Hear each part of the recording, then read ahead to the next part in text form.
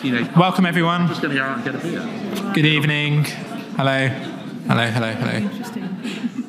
Thank you so much for coming. Um, welcome to the Royal Society, or if you've um, been here before, welcome back to the Royal Society. My name is Areeq Chowdhury. I'm Head of Policy here for Data and Digital Technologies, and I'm honoured to be your host for the evening. So, unless you've been living under a rock for the past year, you will have noticed that AI has become a major political issue. Next week, the UK will host the first Global AI Safety Summit to discuss some of the major challenges and opportunities AI offers the world. And today, the Royal Society has been hosting a series of events to help inform these discussions. In the morning, we held a joint session with the UK government to horizon scan AI safety risks across scientific disciplines, looking at everything from AI bias to AI peer review. This will both feed into the summit discussions and the report the Society is publishing next year called Science in the Age of AI. And in the afternoon, building off our 2022 report, The Online Information Environment, we held a red teaming exercise with the US nonprofit organization Humane Intelligence, bringing together postgraduate students to test the scientific disinformation guardrails of a large language model. And tonight, um, we will be exploring a range of potential risks and benefits that AI poses to society. But first, we need to make some housekeeping announcements. So, if you go to any organization in the country, you'll be very unlikely to find any of them that do fire drills on Wednesday night. So, if you do hear the fire alarm, it probably is the real deal, and at which point you should calmly follow the instructions of Royal Society staff and exit the building. And if you need a bathroom, you really should have gone before the event. but if nature calls, they are down out, outdoor and down the steps in the basement. And finally, if you're on social media, um, please make some noise about the event. We had someone write in criticizing that we're promoting X, formerly Twitter, and just want to make clear that if, if you would like to make noise on whatever platform you prefer Mastodon, Facebook, Threads, LinkedIn, TikTok, Tinder, whatever you prefer. and if you want to submit a question, there are two ways to do so. You can submit a question at any time on Slido you have to go on the, uh, if you just Google Slido, you'll find it. And you have to enter the number A2510. And you can just submit a question at any point during the evening, and you can upvote other people's questions um, that you would like to have heard in the Q&A. The second way you can do it is to wait till our Q&A session at the end, where we will have um, some roving mics.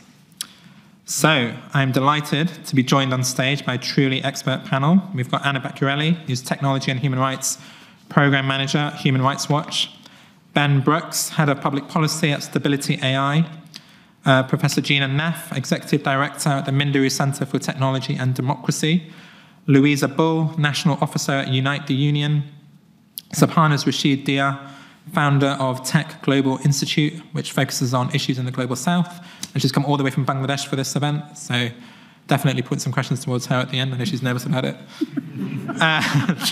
finally, Professor John Crowcroft, uh, who's a Fellow of the Royal Society and a Professor of Communication Systems at the University of Cambridge. So, first question let's talk about language. So, one of our reports, I'm going to mention a lot of the Royal Society reports this evening, by the way, and so take the hint and read them.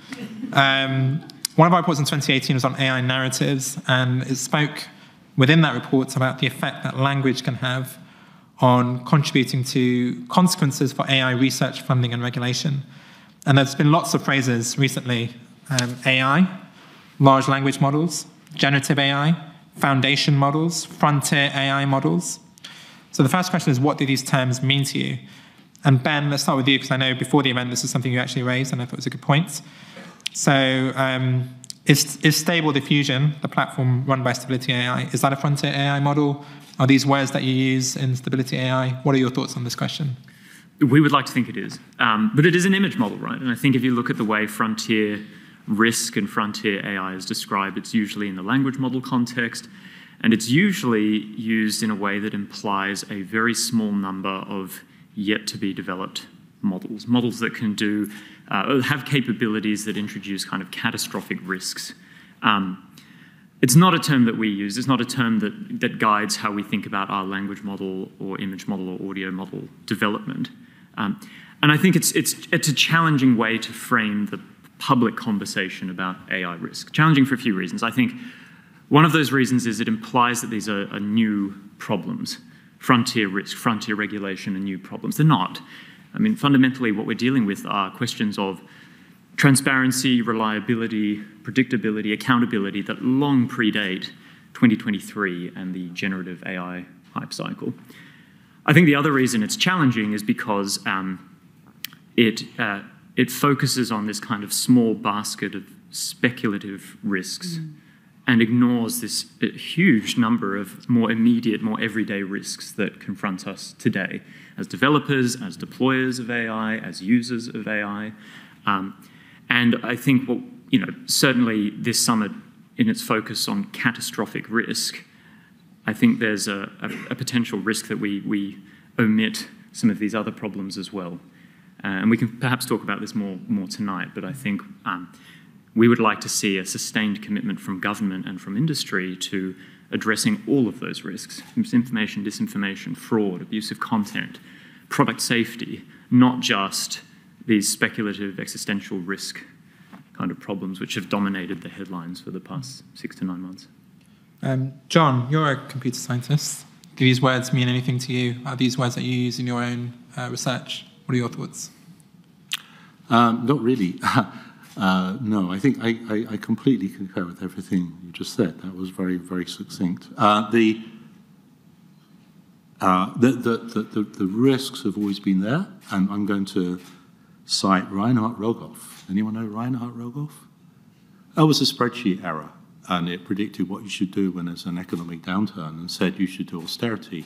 And then a grad student noticed there was an exactly wrong error in the spreadsheet, uh, too late for many countries that implemented austerity. So the output of the spreadsheet fed to a decision. So it was a decision support system that helped governments make, make a decision to implement austerity rather than borrow a lot of money and spend it on infrastructure. You did not need an AI, it was a spreadsheet. It literally Excel. Okay, I mean that's like not even complicated statistics. Uh, and you can go and see the error, it's like public. So, um, so I think the, the, the, the, question there is, you know, do you verify something which has led to important decisions? Do you have transparency, agency, all those things? I think you just listed all of them, so I'm not going to go through them all again. But in terms of, um, for me, the challenge with the new hype, which I personally think is rather strange that a bunch of governments have jump, jumped into doing a summit about it. We've had these issues for, for at least five years with the pervasiveness of AI being used in lots of ways, whether it is a spreadsheet or more intelligent ways of doing sentencing, all the things we know that there are horror stories about, but also some good things in medical diagnosis and so on. All those things have been around. This is masking that, but it's also masking it in a bad way, which is there are two aspects of the current hype technology, which are not true of most of the previous technologies we've had.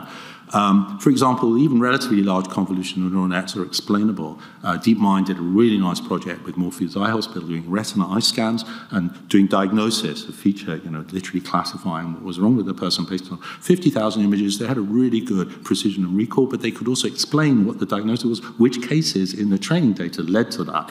And many of the systems we've had for since Geoff Hinton started on this 30 years ago or more, and other systems, Bayesian modeling, all kinds of other systems, are open to explainability, interpretability, quantifying their uncertainty, all these things that are really essential if you put them in any place where they lead to important decisions or they even more crucially actuate something in the physical world potentially uh, where they move something that opens floodgates or turns left or over a cliff or whatever it happens to be. Um, so uh, so I think this, this bunch of terminology is, is hiding uh, behind some superficial things that can be done which look groovy. Um, actually, the image stuff is much sweeter. The stable diffusion is probably much more amenable to some kind of explanation of what happened in there. But some of the few shot, um, super large training data set, high dimensionality systems, how are you going to make those interpretable and quantify uncertainty? Probably not doable in any sustainable way, and it's not, not generally obvious what they're useful for. If we get away from all that noise and say, what are the things we're using, then we find we can use a bunch of the te techniques which would then make them far more attractive and avoid all these risks. Um, on, if you, we can have the conversation about existential risk from AI, but I think this is mostly driven by misreading science fiction film scripts and not noticing that actually Arnie actually saved the humans and Skynet lost. It's really important to remember that. Most of the most of the end is the AI loses, but but let's let's not have we can talk about that in a bar later. Uh, Gina, you've been very involved in some of the pre-summit activities. How, how have you heard these words being used? What does it mean to you?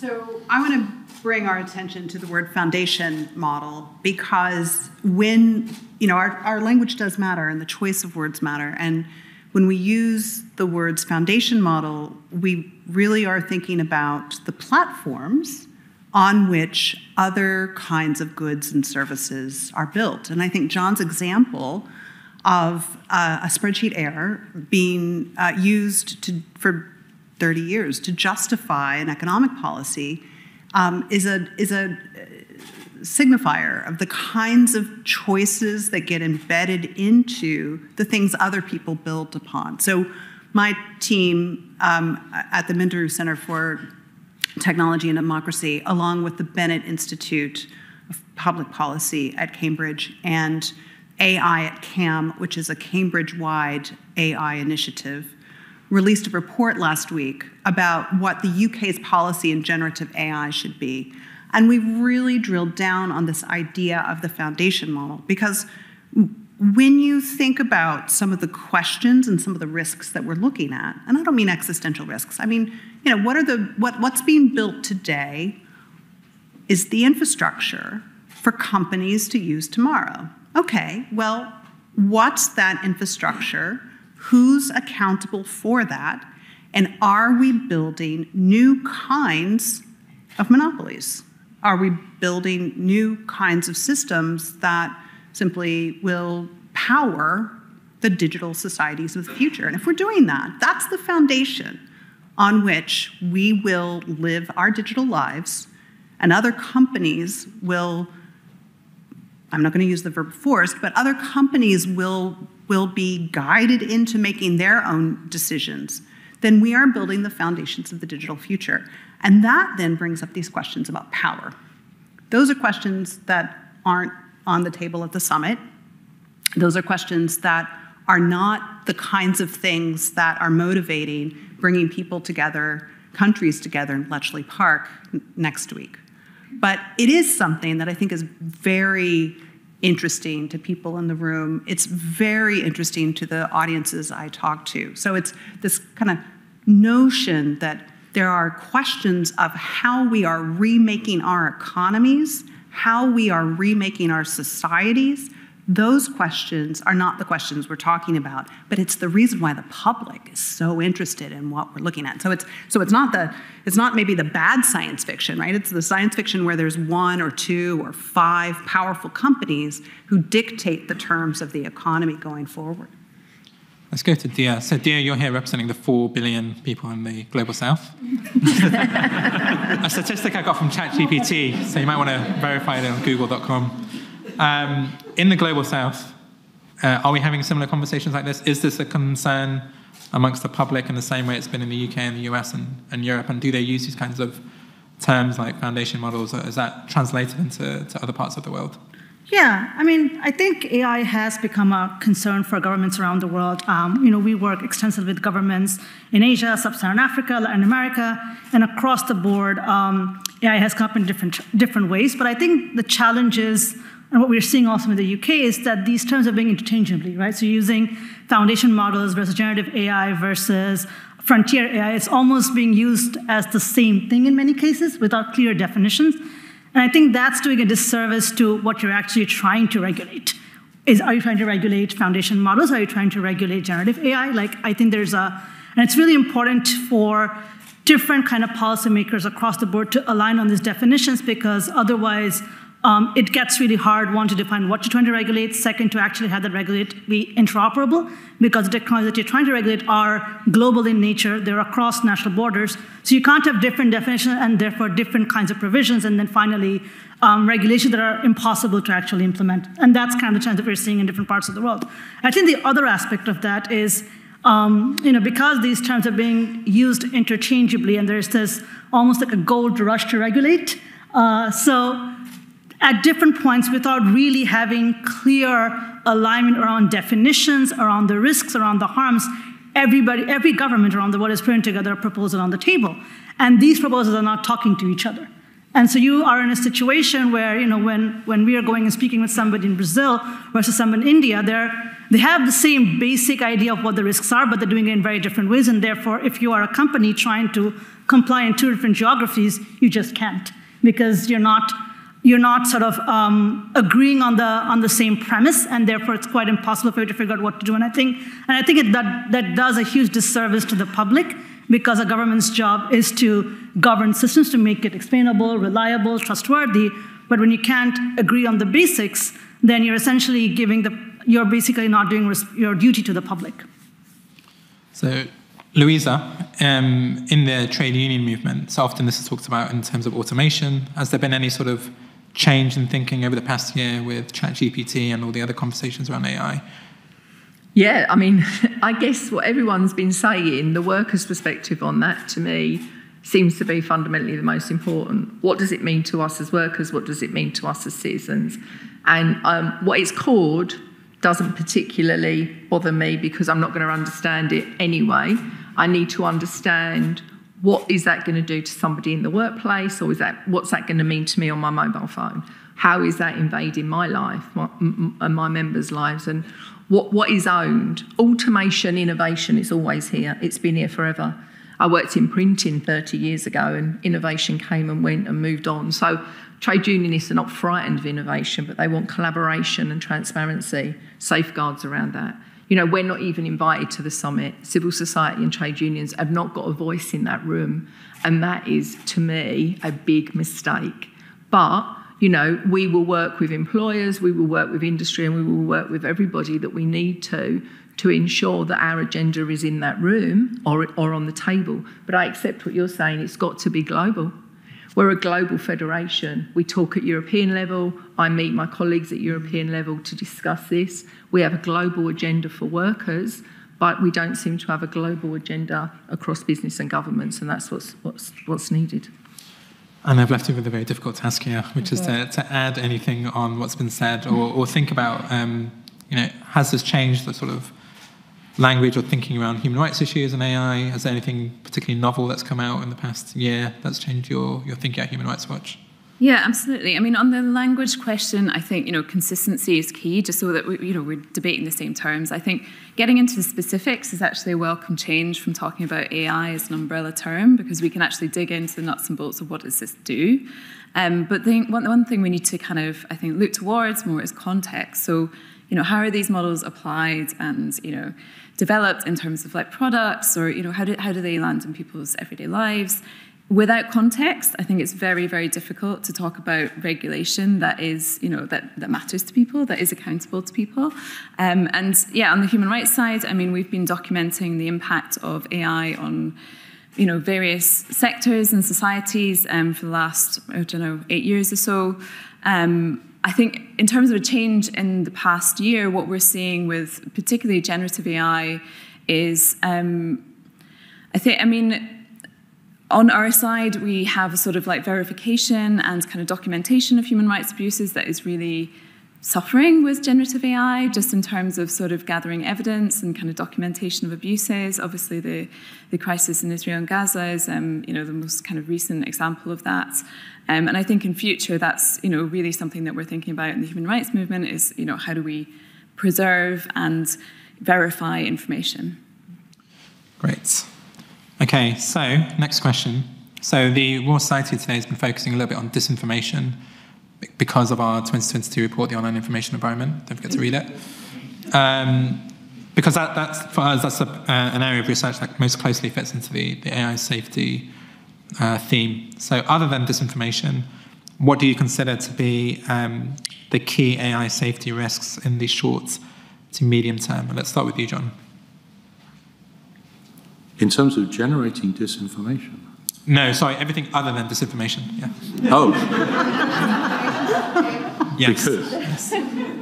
there's trying two to sides make you think to here. I'm trying to make you think hard. The other problems with generative AI. Or just AI in, know, as you see, and what do you consider to be AI safety risks from your perspective? I guess is the question. I think there's a um, one of the problems is the uh, public understanding of what's happening, and so what's beneath the hood is getting more complex. It's always been complex. I mean, you could have a PhD in microelectronics and not know how your mobile phone works, right? So it's like you know that's pretty astonishing. And actually, I think one of the first things that's real AI was Google Maps. You know, you have a GPS system and you have a phone with an assisted GPS receiver, and you have this map data. It's astonishing the number of algorithms that are going into making that thing work. And I actually do know how most of that works, but it's you know it's most people probably don't. Um, um, and that's not being patronized, and they've got more interesting things to do, like watch the next you know, episode of Loki or whatever it happens to be.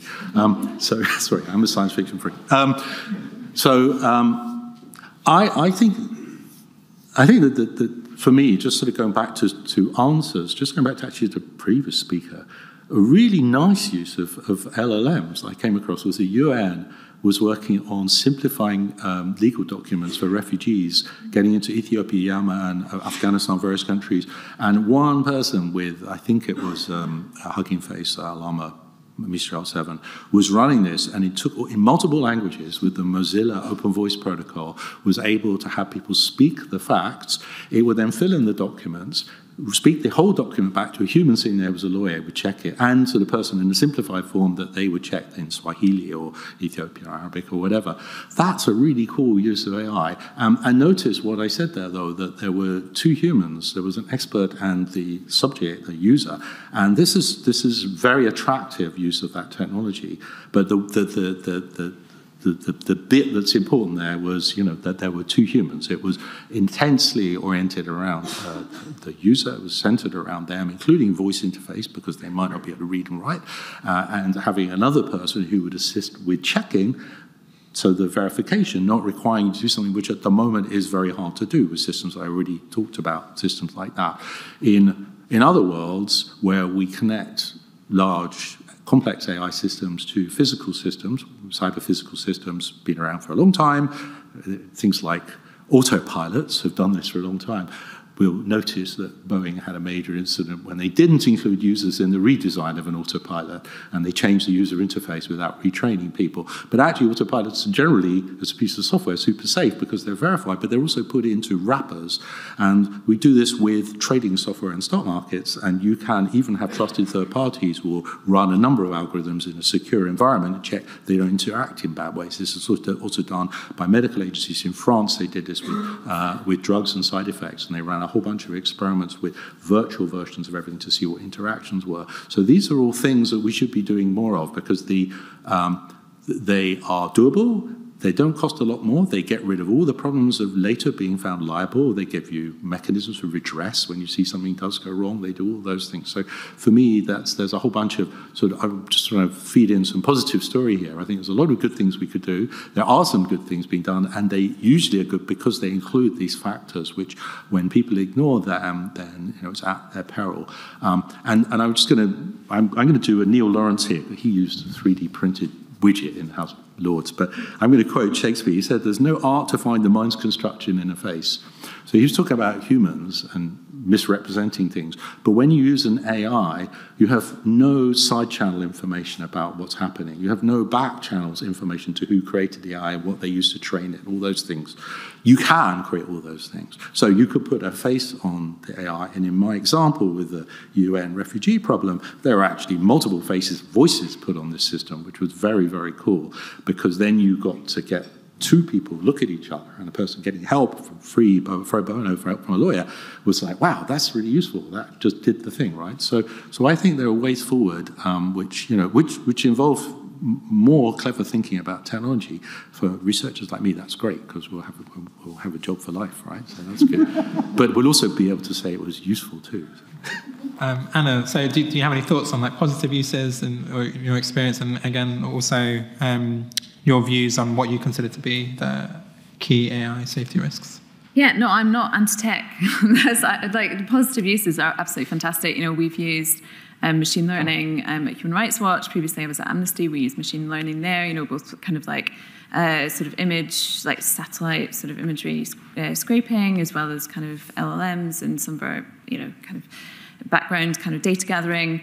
absolutely not anti-tech. I think you know we just want safeguards in place, and obviously when it's used in um, particularly high-stakes scenarios, then then that's what we really care about. And um, at Human Rights Watch, we've been documenting the impact of the welfare state for some time and, and um, automation in the welfare state. And so um, a, a, couple of case studies I can cite. One is Universal Credit here in the UK, and the second is um, Takaful in um, Jordan. And in both cases, um, you have an algorithmic system that is gathering lots of data points. Um, in the case of Takaful, it was like 57 different da- data points, um, assessing benefits claimants um, for their eligibility, and then you know making a decision. Um, you know they, they, don't know what that is, and um, what what criteria has gone into that, and then you know either issuing benefits or not. Um, in both cases, we found a lot of similarities in terms of problems. So um, just a kind of very crude reading of information that doesn't account for the complexity and kind of changing circumstances of someone's life. In the case of universal credit, kind of famously, um, it didn't, it sort of, anyone that was paid twice in a month, they were counted as having a double payment, so your universal credit was, uh, you know, significantly decreased. Your, your payment account because it was sort of assessed on a monthly basis it doesn't matter whether people were sort of paid on an informal basis or ad hoc, which is obviously um, kind of more uh, likely to be a kind of lower social economic status.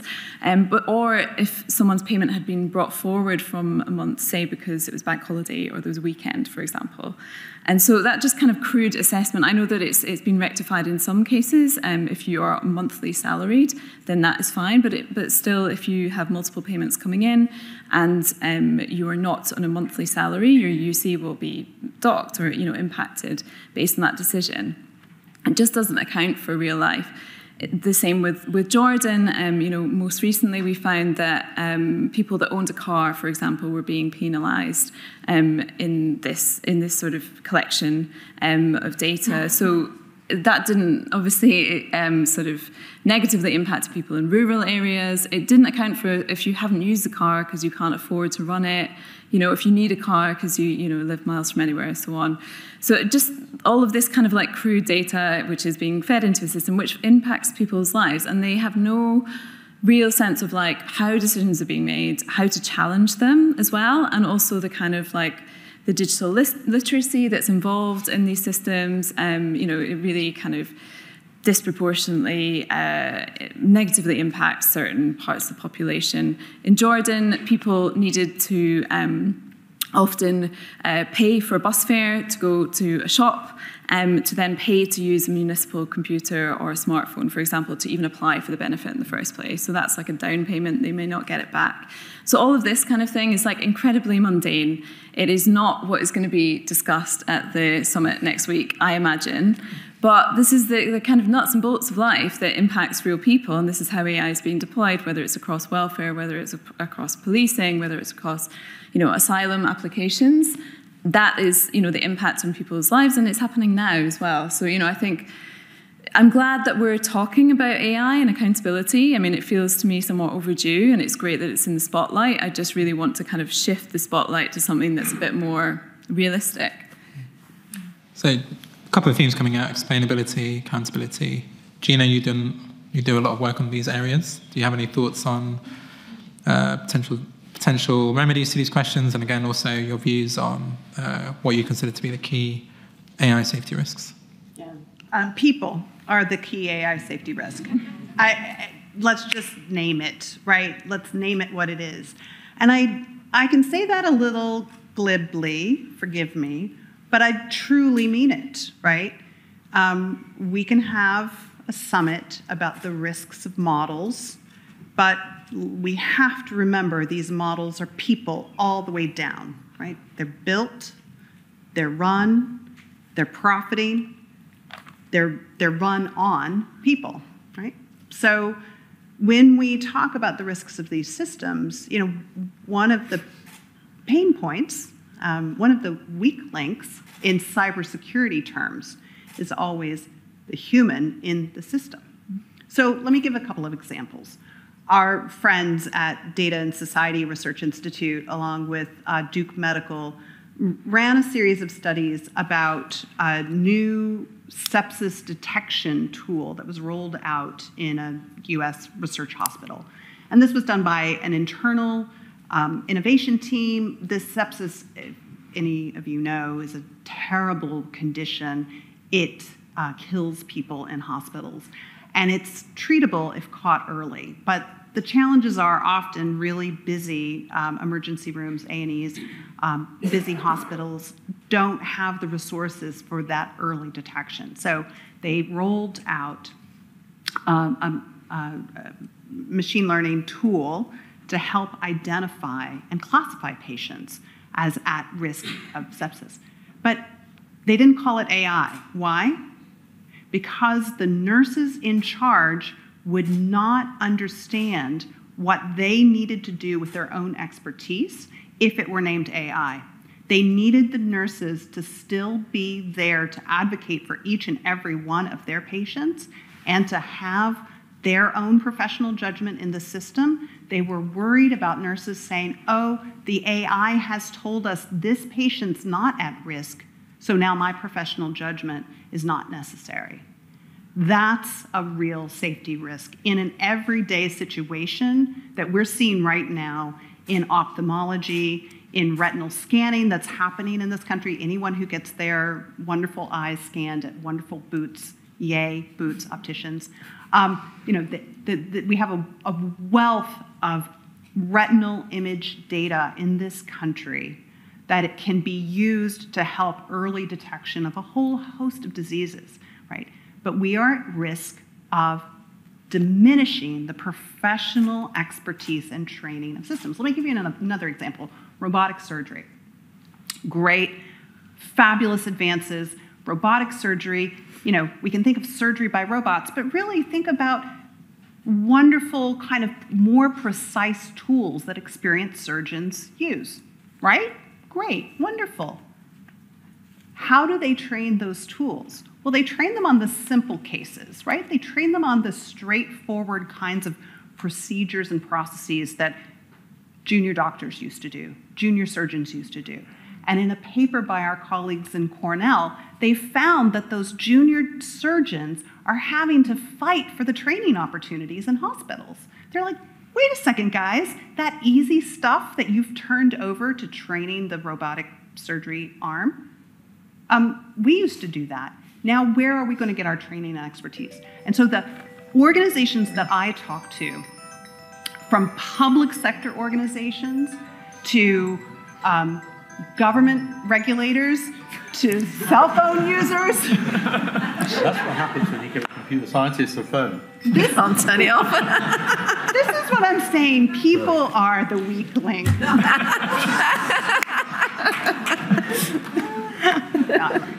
okay. Uh, but, you know, so for all of these organizations, they're really struggling about how they build their capacity. Right now, in workshops we have with regulators, regulators don't quite know how we're going to roll out the UK's own approach. Proportionate, sensible, yes. Sectoral, yes. By each regulator, yes. Probably the best way, go Team UK, probably the best way to regulate AI. They don't know how they're going to staff it. So we've got a lot of work to do to building up the social human capacity. It's both people understanding what's going on underneath the hood, yes, but frankly, I don't understand how my car works, but I know I'm licensed to drive, I know what guardrails are, and I know when that check engine light goes on what I am supposed to do. And right now, the check engine lights for some of our complicated models are not apparent and transparent to those of us who are going to be making our professional decisions based on their output. So we've got a lot of work to do to build up that capacity. And frankly, that's the conversation that I would love to see taken up at the summit, right? Where are we having the conversation about building out that capacity so we can, as societies, be safer? The, the check engine light in my car is permanently on. I mean, um, that's a good segue to Louisa. So, um, you know, another theme here is training and people. Uh, how are you thinking about this at Unite? And I know you're also involved in the Trade Union Congress work on AI. Can you talk a little bit about that? And then again, also your view on what you consider to be the key AI safety risks. Yeah, so the um, the TUC have obviously been working on this for a few years and have had their own AI task force led by a great led by a great woman, Mary Towers. But we've had our manifesto, and that talks about all the areas where we think these issues are going to impact workers in, in the workplace. And you just talked about some of the you know higher technical um, skills and roles, but you know I'm going to take you down to a, a guy or a girl working in a warehouse with a headset on, picking and packing. Now that is all been automated for many years, the decision on how quickly they need to pick, where they need to pick, and what they need to pick is all told to them on the on the phone. They've got no power, no hmm. control, and they are automatically disciplined if they miss the target. Doesn't matter what size, shape, health they've got. If they've got to pick up a box of Coca-Cola or a box of paper, everyone has to pick it up at the same time from the same spot and get it back to the lorry by the same moment. And the fact that they've not got any power within that and no ability to change that is commonplace in, in work. And that is having a real impact on people's health and, um, and mental well, well-being, right? So that is a very simplistic example of where the trade union movement have got our manifesto, what we believe we need to do in collaboration with our employers, Bringing in these systems is great, they're helpful, they're useful, but we need to know that there's a human in control, and also a worker can go to a human to appeal that process if they need to. And that's not happening right now. The systems are coming in under the ground. We're not consulted. We've got no right to ask. We've got no information and consultation rules around that. And that needs to change. You have the right in this country to bargain. You have the right to bargain on pay hours and holiday, and that's what the trade union movement do. But we need to be able to bargain on these systems, on data, and we need to know what's going into a company, how it impacts us as workers, and we need the right to ask, the right to know, and the right to agree to that before it happens.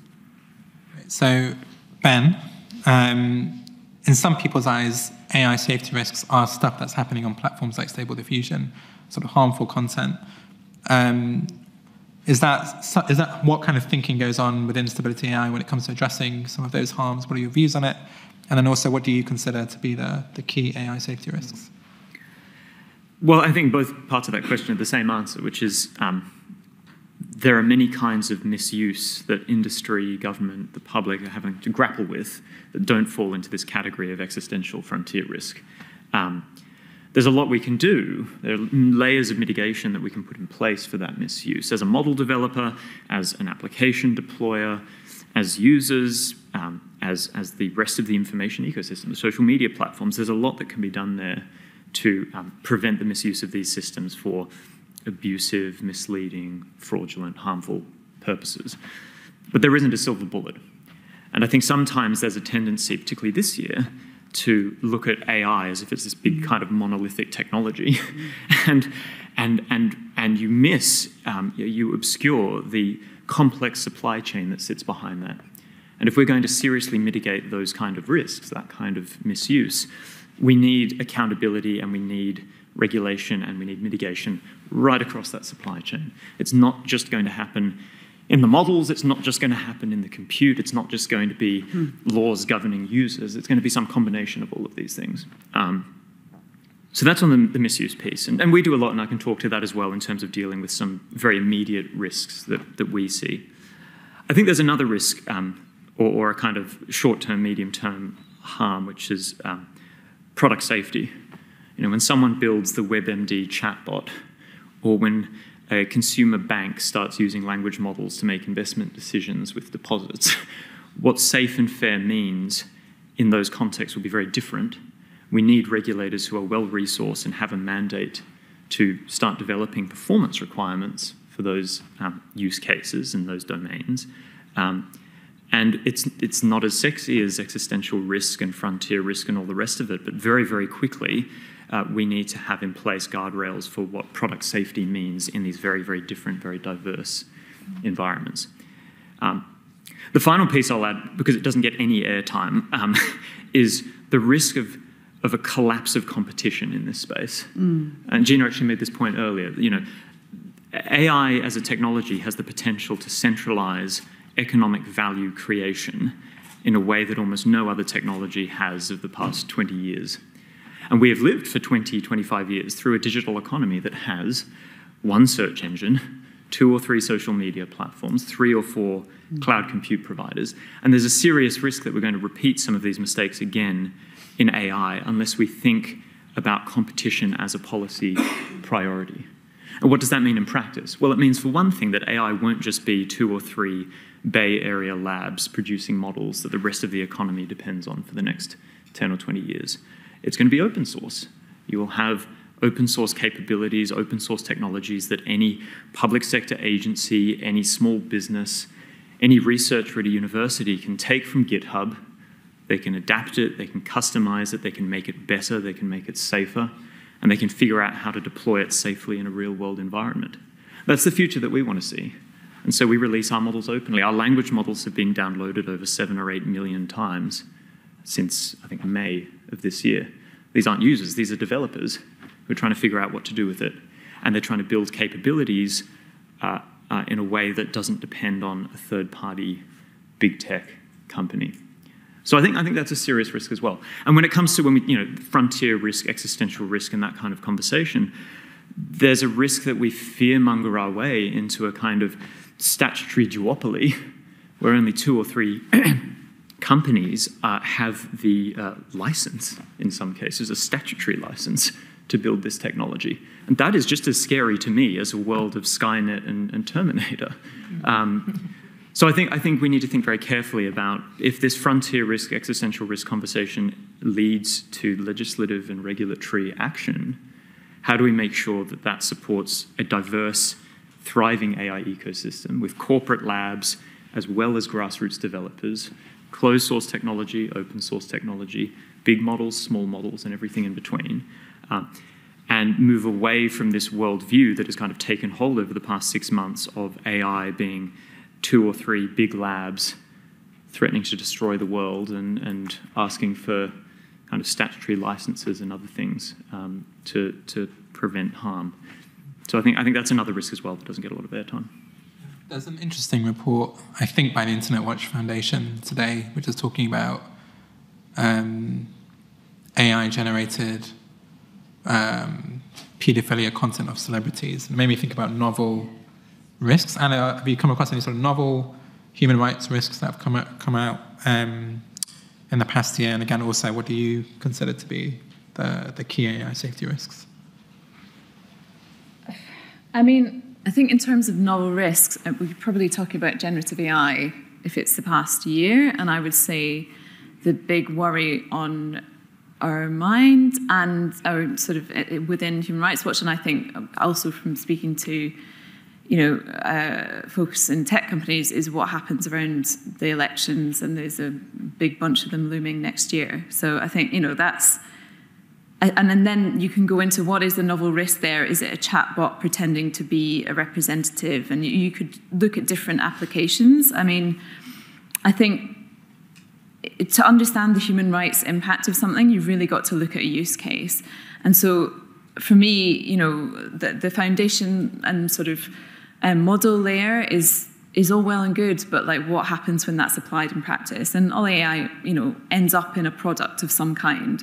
And so that's the stuff that we're kind of really interested in is like, you know, yes, there's the technical safety components, but you know, I'm sitting here with a human rights hat on. So it's like how how is that gonna, you know, impact potentially my access to rights? And then also, you know, we mentioned supply chain. What is the what's going into that? um, the creation of said product. Um, you know, particularly this year, I think there's been um, a welcome focus on the the employment rights of like data labelers and you know everyone kind of in that sort of life cycle that was I think formerly sort of confined to the sidelines. They weren't thought of tech, as tech workers. You know, there's a, there's a real difference between someone in, say, Nairobi, like labeling data or like moderating like the worst parts of the internet, you know, kind of taking down graphic content or whatever, and say, uh, you know, white collar tech workers in Silicon Valley. But I think now we are thinking of that a little bit more as a supply chain. So I'd really encourage us to also think of the kind of like employment rights at the very sort of start of that as well. Sorry, what was the? Was that? yeah, that was a good. That was, that was a, that. good okay. Um, so dur- during this morning's um, session on horizon scanning, we looked at um, uh, AI being trained on weird populations. Was my phrase of the week, which is Western educated, industrialized. Something rich, rich and demo- demo- democratized, yes, populations, and um, you know, there's a lot of interesting conversations there on what that means for the global south, what it means for um, different populations if these programs are rolled out globally. And also, just touching on, on that point on data labeling, do, do you have any thoughts on those issues, Diya? Because those have been in the news a lot, especially on the, the labeling of this content, and also your views on what you think the, the key AI safety risks are. Yeah, um, I think um, Anna, you kind of raised a really good point around, and it goes back to your earlier question around definitions, right? I think AI as a system has existed quite, for quite a long time. So I think we need to really start by thinking about automated systems. I think that's the starting point of the conversation. When we go into generative AI, frontier models, you kind of lose the crux of the problem, and then you're not really working around solving that sort of issue. So if you really take automated systems as the crux of it, I mean, the global south has been disproportionately impacted by it for a very long time. The Jordan example is a really good one, but in the social credit scoring, employment choices, um, potentially how they're being represented in other kinds of media. I mean, the global south has historically been excluded, and therefore, what you end up with through automated systems is a very reductionist view of the global south. And you know, it was a joke at the beginning that I, am representing four billion people, but essentially that's what it is. You have one image that represents everybody in the world, right? And I think there was a really interesting report that was done by Rest of World recently that looked at um, image generation, not stable diffusion, others as well. Uh, but in general, all kind of image, uh, sort of image generative um, AI systems, and it was trying to put questions like, you know, average Nigerian man, um, average Indian man, and like it really kind of produced images and content and, and um, responses that really boil, to, boil down to the worst stereotypes about those populations, right? And that's really, really harmful because in the long run, you know, and it's, and it's, and it's same as some, some, like the Google search, like when you're Googling, when you're searching something on Google, which is also an automated system, you're essentially only finding one version of the story because that's coming up on page one and page two, you're, not, and you're missing out on the entire sort of whole range of other kinds of information.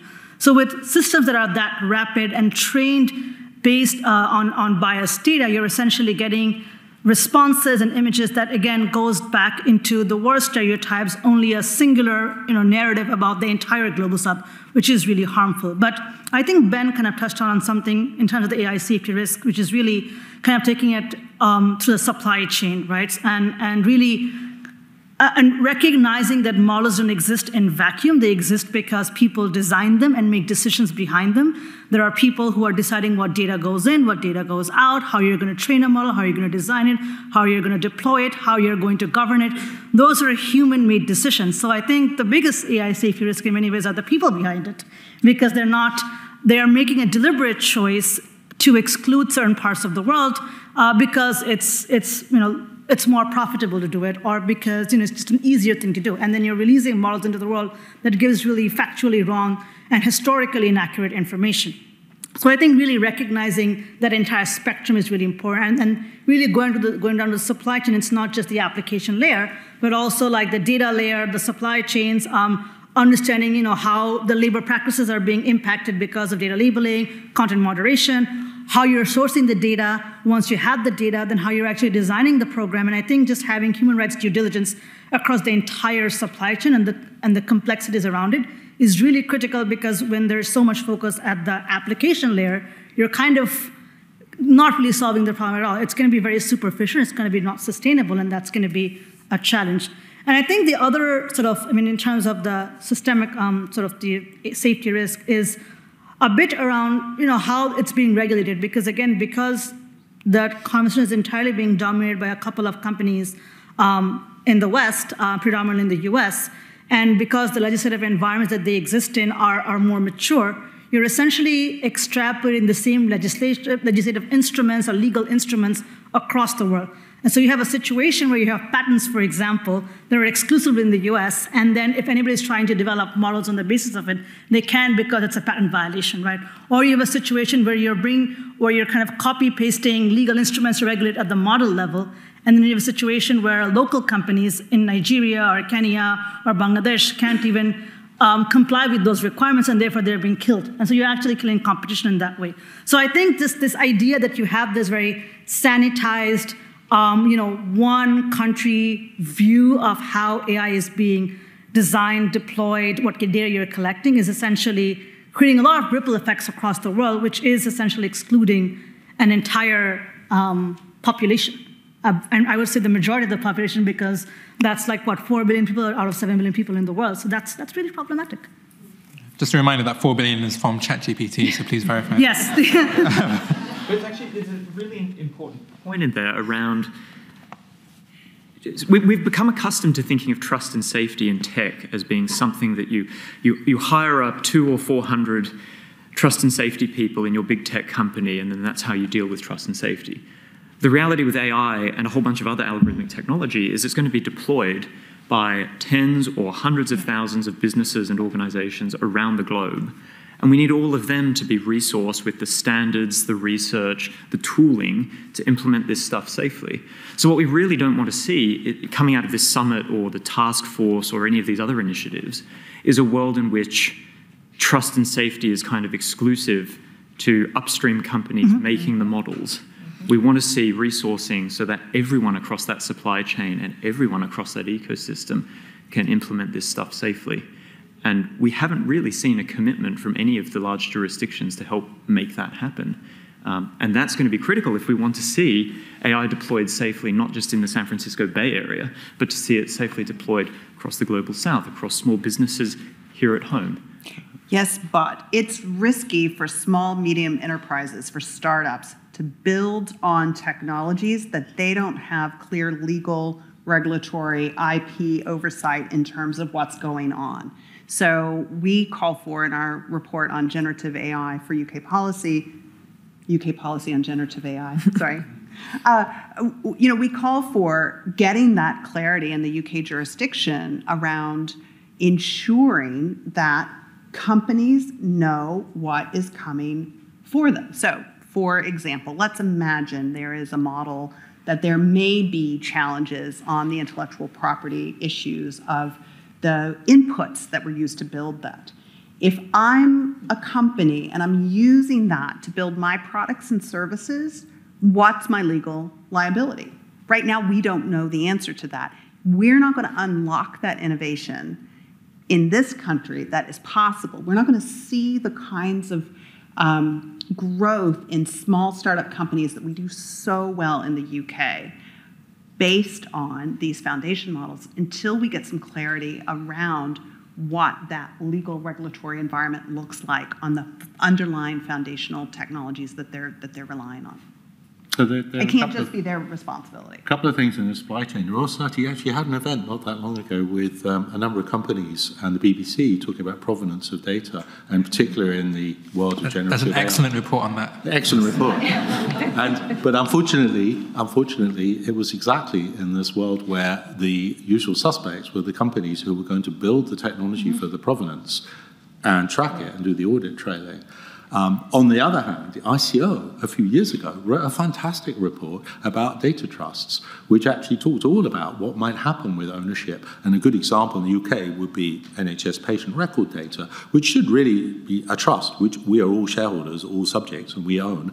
And when Google DeepMind builds an AI based on it, given the software is about 0.01% of the effort and the data, and particularly labeled data labeled by surgeons and experts, is the high value, then UK NHS PLC should own 99.999% of that application and make lots of money when we sell it to US healthcare private companies or whoever. And that's that the inequity of what's happening. Both I've just given two examples of just that that's just not what's happening, which is terrible. And any market with an invisible hand would not arrive at that point, right? So this is, if you want the regulator of choice, who should be at the summit next week, it would be market regulation people. I think several people here have alluded to that being an aspect, and, and civil society and unions as representing workforces, and exactly the same argument applies, I think.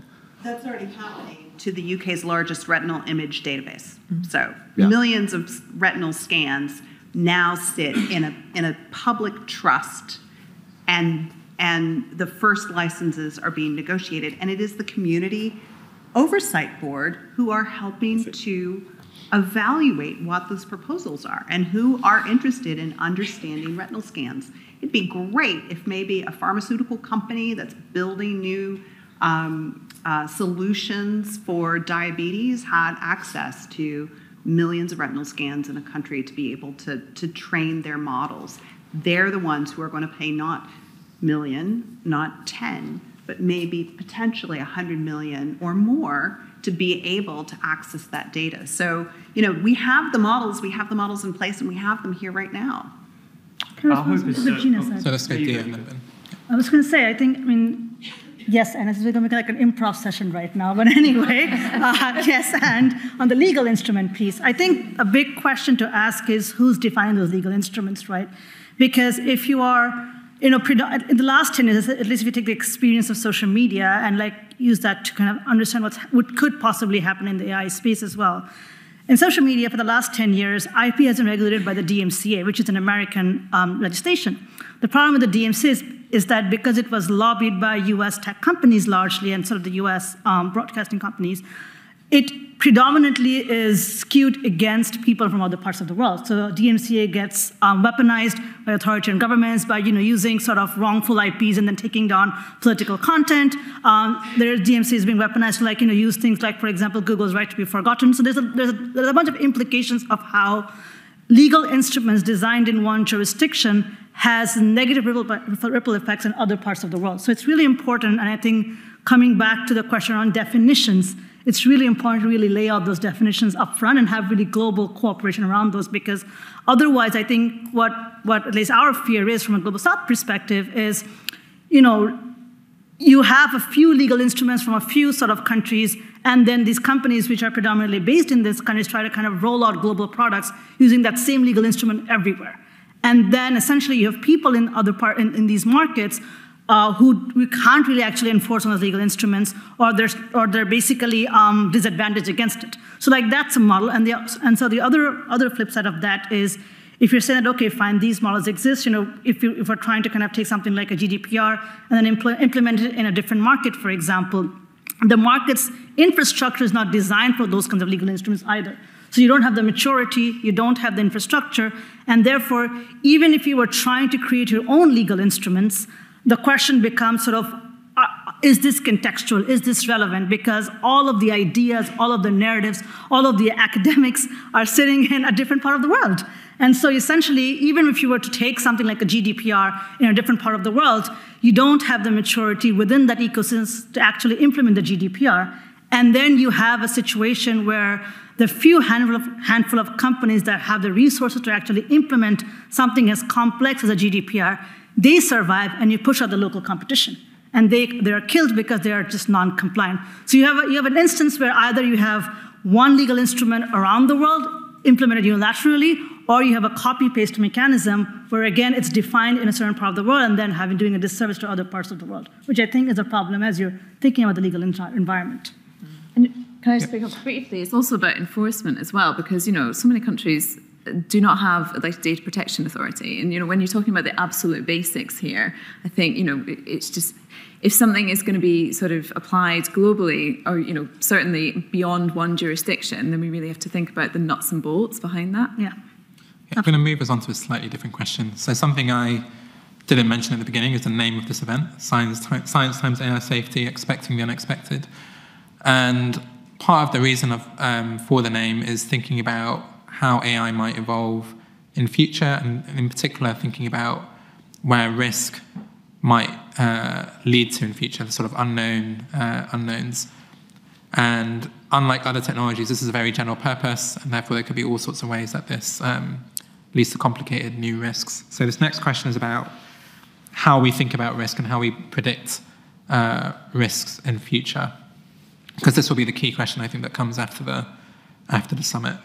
And I want to start with, with you, Louisa, because the, the main thing that most people probably care about is their jobs. And for you, it'd be interesting to know how you think about this at Unite, like you know what training is needed, what jobs are going to be automated, how can you predict any of that, and you know, how do you go about that sort of risk assessment in, in the trade union movement?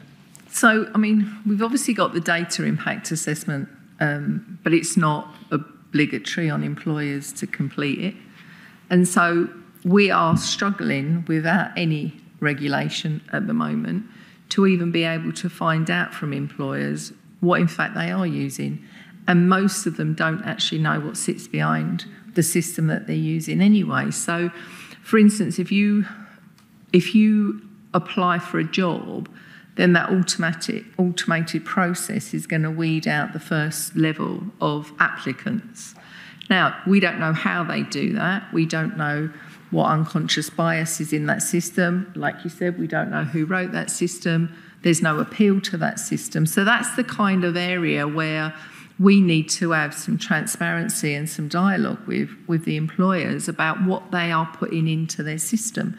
I mean, most people if you work for an employer, they will have put their HR systems onto your phone.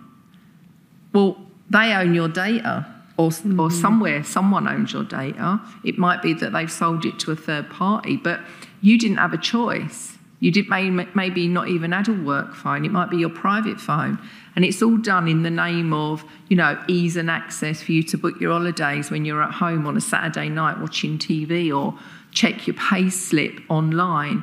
Um, all of that system is what is really what we're talking about at that at that workplace level. And we have no conversation or right to a conversation about that right now. So, part of what the TUC and our manifesto is about people, power, and technology so that we know what is going in, what is being used for, and the right to say no as to who owns our data. It is our data. We are not an AI lab walking around with a mobile phone, sharing everything we put on it with the world. We don't mean to do that, you know, but we are doing that. And we're actually doing it at, often at the request of our employer. And our personal phone and our work phone are, are, are mixing up. And so that whole kind of, you know, description of us that's being collected, that profile of each and every one of us, as a citizen and as a worker is just is just sitting out there. And we're actually being encouraged to do that, and in many cases, obliged to do that by our employer. And when you ask the question, they don't know because they actually don't, know. And we have no legal obligation to inform our members of what it is because we have no right to get that information from the employer. And that's the level of conversation and debate within the trade union movement about how we regulate. Now, what we do about that, people around this room have all got different reasons, but from a worker's perspective, we have the right to ask and to know and receive and say no to that misuse of our data. Um, in Stability AI, what is the risk uh, function? What does it look like? Is there a risk register? You know, what's on that risk register? How far into the future does it go? Um, can you tell us a little bit about how you're thinking about these sort of long-term risks in, in your company? Yeah, look, I mean, so the focus, the focus as a model developer for us is um, really around performance and behavioural risk in the model. Again, because it's a model that can be used in so many different scenarios, so many different use cases, and it's open source, so it can be used by so many different people. We um, we want to understand the kind of breadth of capabilities in the model, the potential for misuse, behaviors that are undesirable or unsafe or unlawful. And then, as far as possible, in the part of the tech stack that we own, the model, and in some cases the API and the application, we want to then put in place mitigations. Um, so for us, you know, we, we do have a, a robust kind of pre-release process, particularly with powerful models like our language and, and image models, where we're thinking through what is the data that is going into the training, we filter it to take out unsafe content, which should make it harder for the model to produce unsafe content. Um, we fine tune the model for uh, certain kinds of behavioral bias um, and, and, certain kinds of undesirable behavior. And then we evaluate it. You know, and a good example of what uh, external evaluation might look like going forward was DEF CON earlier this year. We were one of, I think, seven or eight companies that fielded a model. We had about 2,000 researchers come in and essentially attack the model uh, to try to elicit undesirable or unlawful responses. Um, and, uh, and that's a great example of how you can use external independent evaluation to test the kind of full envelope of the model's capabilities.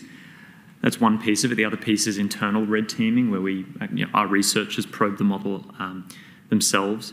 And then there's standardized evaluation. And I, I, think this, this is one area that is both underdeveloped but going to be very important going forward for existential risks as well as for kind of behind the frontier risks. You know, we have benchmarks today that look at, you know, take a language model, for example, look at comprehension and reasoning and fluency and, and other things like that. They're fairly crude benchmarks in many ways. You know, a lot of work's gone into them. It's, it's really useful uh, uh, as a kind of first assessment of the model. But as we start trying to probe for these more novel or more exotic risks, we need more specialized frameworks that really try to capture capture that in a kind of battery of tests that a developer can run the model through before they release it. This will become very important when you look at, uh, uh, when people think of a model developer, they're typically thinking of a big corporate lab. But what you're now seeing is you can take a base model, you download it from GitHub or Hugging Face, and then thousands of people can now fine tune the model in ways that are generally very good, that generally makes it safer, more performant. But you can theoretically uh, fine tune those models uh, for malicious purposes. Um, and so, how can we put in place evaluation frameworks for those downstream developers and downstream application deployers so that they understand the risk that they're seeing in their fine tuned model or in their fine tuned AI capability? That's you know, an area for further inquiry, but something that we're certainly um, supporting, and, and, we're working with civil society and government and uh, a number of other organizations to think about what does that look like, what does the future of evaluation look like for the kind of existential risks, but also these more everyday kind of risks as well. Did you want to come in, John? Uh, yeah, I was just going to bring it back to science and safety. So um, E equals mc squared tells you about energy mass equivalence, lets you understand how you might do something interesting, lets you build nuclear weapons. We had an organization called PUGWASH, which was voluntary for nuclear physicists to not work on weapons. Uh, DNA, structured DNA, Crick and Watson, and another very important person. Anyway, um, very good, but you could do recombinant DNA, and you can do really bad things with recombinant DNA experiments. So we had Asilomar, which was like a conference which like annually decides what we should not do. So I think you know the, the, there is an existential risk which I could, could find hard to quantify, but in the Royal Society had a report about this 10 years ago on governance of climate change. And one of the areas they were interested in was geoengineering, which is now coming around again. And why geoengineering is coming around again is we're hitting 50 degrees wet bulb temperature in some parts of the world for more than a day, where basically, if this happens for a week, you'll have 100 million people die. And countries with launch capability will just stick sulfur in the upper atmosphere immediately because they can do that. And that will drop the temperature by one and a half degrees. You can, that's known science. But it might also move the monsoon 3,000 kilometers away and six months away, which would cause a load of people to starve and no food. So we need to quantify the risk of geoengineering, but it's so complex because it's adding experiments to climate change. You're actually having to do probes, which means we need to run climate models, what if, at scale, 100 to 1,000 times faster than they're currently running. And we need to have uncertainty quantification of the output of those models. Otherwise, we will make the wrong decision. And this is not a thing where a person loses his job. We only have one planet, right? So we only get to get this right once or wrong once. So, so that's an area where when people quantify risk, we really, really better do it well. And that is a science modeling thing. And the two other examples I gave were, you know, from science models. The models came from, you know, biology and physics. This is climate modeling. It's actually you know, fluid flow models and all kinds of interesting things. But, but the only way we can scale our science is to use AI and to make the AI safe for some of these things, we really have to up our game. And the nice thing about upping our game on those is, of course, if we were able to on those things at scale, we would do all the other things we're asking of desiderata that people have been, you know, with these smaller systems would be quite a lot easier because we'd have solved the problem in a really, really hard space. So that's my last thing I want to say about there is actually one existential risk posed to the human race right now, and we could make it worse if we use AI wrong. Um, so uh, just a reminder that you can submit questions on Slido. The details are on the screen, A2510. We'll go to questions in about 15 minutes. Um, Anna, so you've been in the space for a long time, in the human rights space, and obviously Human Rights Watch is focused more on documenting mm-hmm. uh, abuses, but I'm, I'm, guessing you must have thought a lot about prevention long term, and, and I'm interested to know how you might approach the sort of long term risk assessment for a technology that is, is very hard to predict how it goes. Yeah, that's true. And I, I think, you know, there is a component of sort of forecasting in the human rights world, which is you know part of human rights due diligence, um, which uh, do reference which uh, human rights impact assessments. And again, kind of going back to use case, we would always you know recommend that human rights impact assessment was used as part of you know socioeconomic kind of impact assessments. And I think yeah, there's a sort of you know in terms of thinking about the, the impact of rights on individuals and the duty bearers' responsibilities and so on and so forth. Um, I think context is very important. And so um, there was a, a, great paper out last week, I think, from um, DeepMind's ethics uh, research team about social, techno- social technical uh, impact assessment, something along those lines, in terms of like forecasting the risk of generative AI. And it's really about sort of situating it in context. So what happens, you know, what, what are the kind of live components of that and, um, you know, who's impacted and building on, you know, the work of human rights communities and, you know, sort of, uh, yeah, the kind of whole human rights advocacy movement that is based on participatory methodology around talking to people who the systems are ultimately going to impact and so on and crucially um, creating a means for remedy and redress which is a human right. You know you, you need to be able to challenge decisions when you feel that you've been um, sort of maltreated and you need um, to be able to compensate it adequately. I would say that if you can't if you're building a system where you can't imagine um, a sort of adequate way to compensate someone that system should not be built frankly Okay, so we've, we've obviously referenced the summit, um, but let's talk about it more directly. Um, and everyone in this room, they will probably have opinions on the summit, and some might be critical of it, some might be supportive of it. Everyone will be focusing on it next week.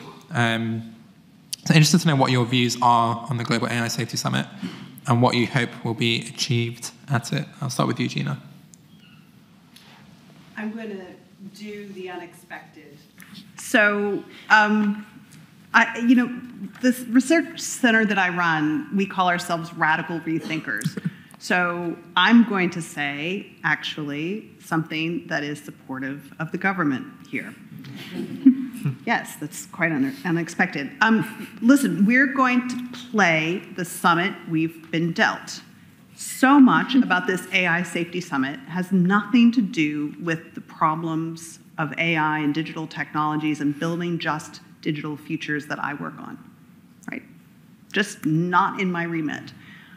But here in London, there will be five days of packed full of events that are bringing together the community around justice, around um, international concerns, around regional concerns around AI, around um, civil society businesses, basically the entire gen- agenda of what AI could be will not be discussed in Bletchley. It'll be discussed in other places. And so we got to play that card that we've been dealt. But I want to defend the government's framing of the summit because we're in a particular geopolitical context. We're in a moment where tensions are high around the world, you may have noticed. And you're not going to get the US and China at a kumbaya, let's make AI work for the planet AI summit. You're just not going to do it. And so, if you think about the goals of the AI Safety Summit as let's create global regulation for AI, it's going to fail. That's not its goal. And it's not the goal that the government, this government, has set forth. This government has set forth let's talk about this narrow slice that can get some of the most powerful actors in AI to formally sit down together and do the kind of horizon scanning that both John and Ben have said we should be doing. That's going to happen next week. And if you've looked at the agenda, which they've published, the first day is basically multidisciplinary tables, roundtables, with a hundred or so experts. Not, it's a very small group. And they're going to do this kind of horizon scanning. And I'm a critic, but that doesn't sound like such a bad idea. Now, is global regulation going to come out of that discussion? Absolutely not. Are we going to normalize East West relations and somehow get a thaw in the um, coming uh, second Cold War that is, that is happening between the US and China over AI? Mm, also, probably not. But we're going to get the summit that we've got. And I think there are a lot of really interesting opportunities that can come out of this, this moment. So let me make one more plug. The summit's happening in the UK. It's not happening anywhere else, if you haven't noticed. Um, and that's playing into a certain narrative that we talk about here. And it's playing into a certain narrative of this government in this particular political context where an election will be called in this country within the next 12 months. That said, you know, we can say the UK, we know the UK is third in the world in terms of the investment and development and research on AI. Not so bad, right? So now, if you narrow that focus and you say, let's look at responsible, trustworthy, and safe AI, let's look just at this focus around the questions and concerns of developing and building out uh, privacy enhancing technologies in, in investment in responsible and trustworthy AI from a science funder perspective, in, in terms of cultivating um, uh, small and medium enterprises that are working in that exact space, the UK is punching above that number three spot. Arguably, it's either number two or number one if you drill just in that responsible, trustworthy, and safe AI bit. So now we have a very different geopolitical map of what's happening at Bletchley, right? The UK gets to assert its um, truly world leading position in a slice. It gets to play with the, with, the, with the biggest players in the space, and it gets to convene and lay the table for a conversation that cannot officially happen. So, when I talk to my colleagues at the State Department, they like humph, harumph, harumph. We don't understand why China's on the invite list. Harumph. They get to save face. Last week, China, you may have noticed, released um, uh, an announcement where they said they're spinning up their own global AI safety institute mm-hmm. that will be available to their allies in the Belt and Road Initiative. Harumph, harumph. Everyone gets to save face because they're going to go to Bletchley and have a great time. That's a goal of the summit. For the rest of us, we've got work to do. We have five plus days of events around everything else from human rights, labor rights, the global south, yes, research networks, industry, building industry models. We've got so much work to be done. And it's a chance for us to use this opportunity, play the summit we've been dealt, and use it to the advantage to furthering the conversations that we want to have. Very good answer. Um, should also add that Adrian Smith, our president, will be at the summit uh, next week and we will hopefully feed in some of these uh, thoughts. Uh, Diya, so obviously this is the Global AI Safety Summit. Have you heard much about it in the sort of countries that you engage with? What are you hoping will, will come out of it? um, either at the summit itself or in the conversations uh, that surround it. Yeah, want to build a little bit on what Gina said. I think you know it's it's helpful when you kind of set in that geopolitical context because that's really critical. But I guess the larger question from from sort of a broader global perspective is that there are just so many competing proposals on the table. There is the China approach, the US approach, the Russia approach, the India approach, the East Africa approach. Rwanda has its own national like legislation around AI. There's just a lot of competing proposals on the table. So, like, the question that I'm thinking of and stakeholders that I'm talking to are thinking of is how does it all kind of come together? Does it juxtapose against each other? Um, what is sort of the common sort of thread? And of course, this summit is not going to give us a global regulation on AI, but is it sufficiently intentional about tying these competing proposals into some sort of a narrative, into some sort of a conclusion? And what would that actually look like? Because um, because without that being in place, given the technologies are global, they are interoperable, they are designed predominantly by American and Chinese companies for the, for the larger ones, it's going to be really hard to get any teeth in any of these proposals. So I think that's a, that's a critical question that at least my stakeholders are thinking a lot about. I think the other aspect of that, and I, and I want to kind of talk about just the just the trust deficit, deficit that exists now between sort of the north and south, right? Because of you know, the most recent one is the pandemic, where sort of vaccine deployment was a, was a colossal mess, right? There was a lot of distrust that was reintroduced in an existing inequitable situation, where the global south is now leaning towards partners like BRICS,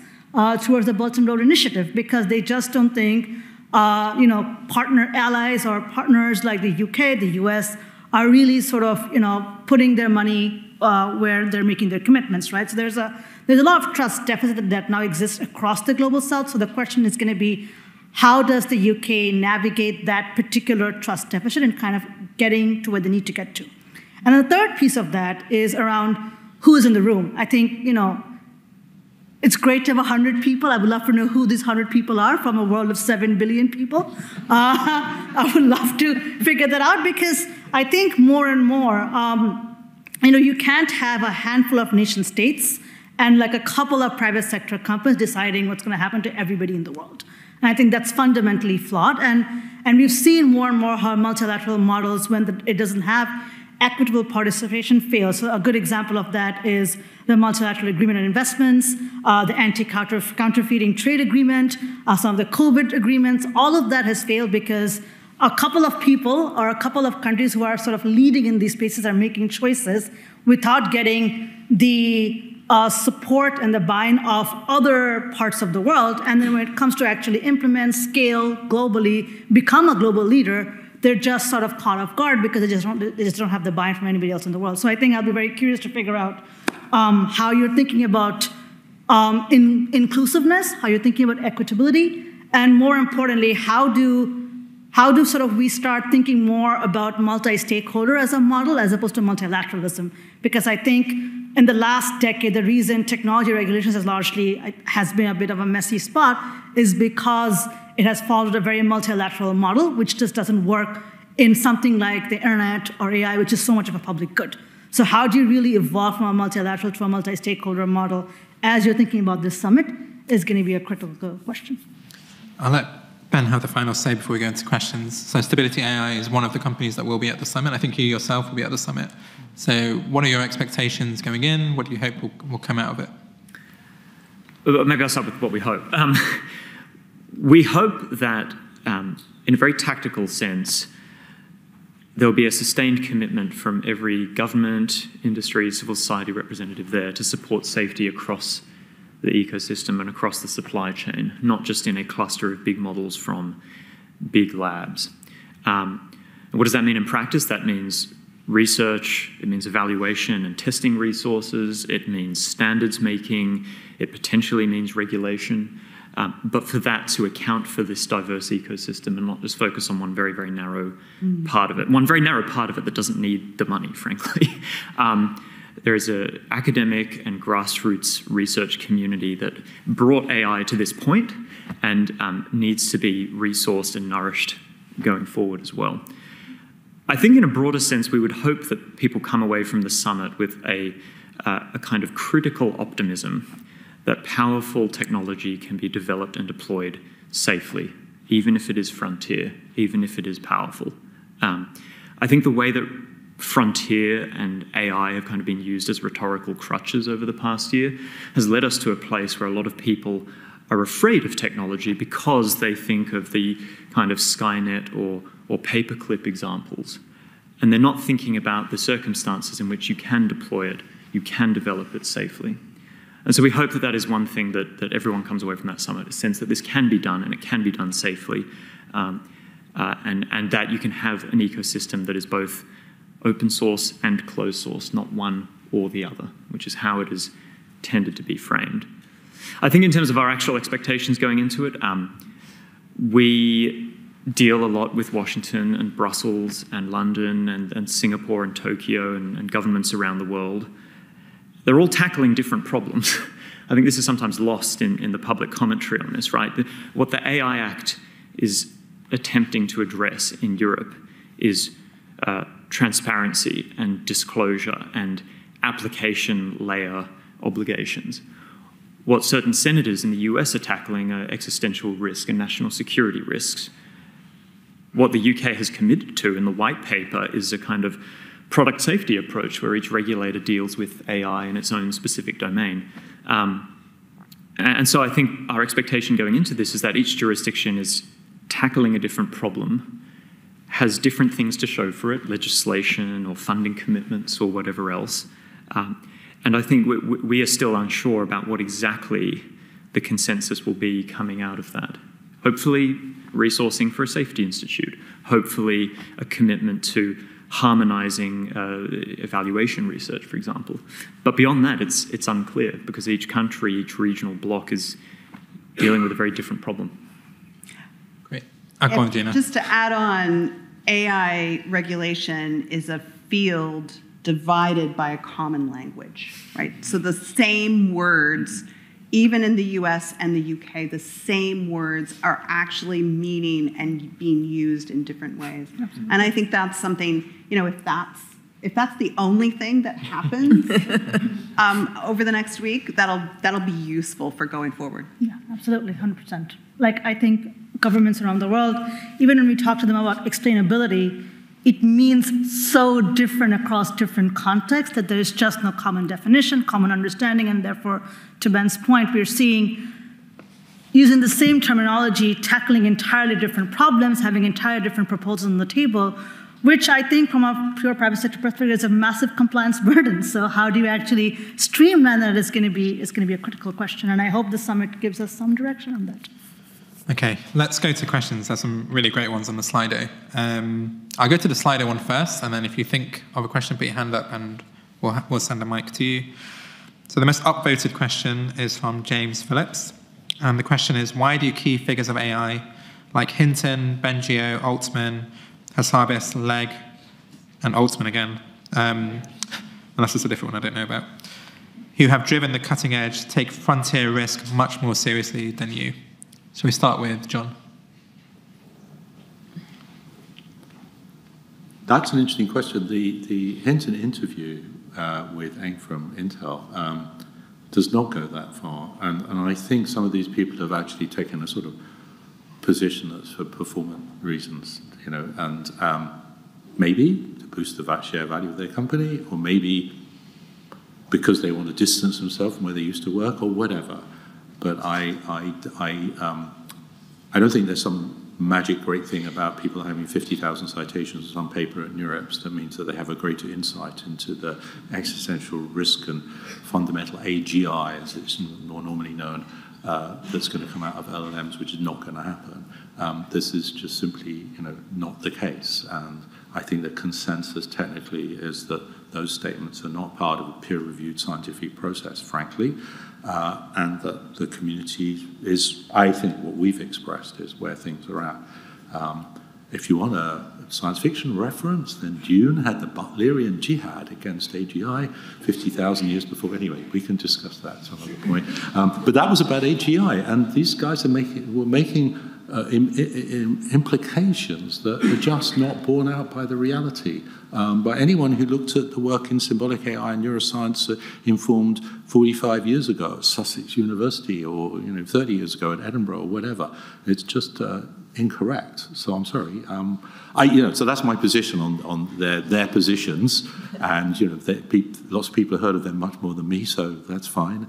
Um, I run a bilateral drinking game um, at uh, Social Science Foo, which is a gathering that happens at Facebook, uh, co-sponsored by Facebook and O'Reilly Media in Silicon Valley, and it brings people from the UK, and somehow I count as one of those people from the UK.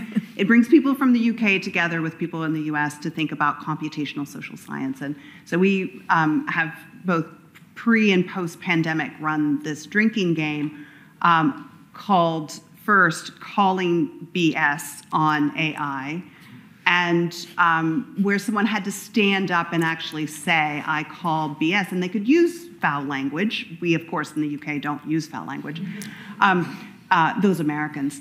Um, so you know you could get up and you could say this thing and then and then and then you would call out you know what you're seeing as an AI failure and we ran it in in February um, on generative AI and I you know Chatham House rule but you know the um, science fiction writer, he is given permission to say, you know, the science fiction writer Kim Stanley Robinson was in the room and he was like, I call BS on AI because it's bad science fiction. And I can say that because I'm a really popular science fiction writer.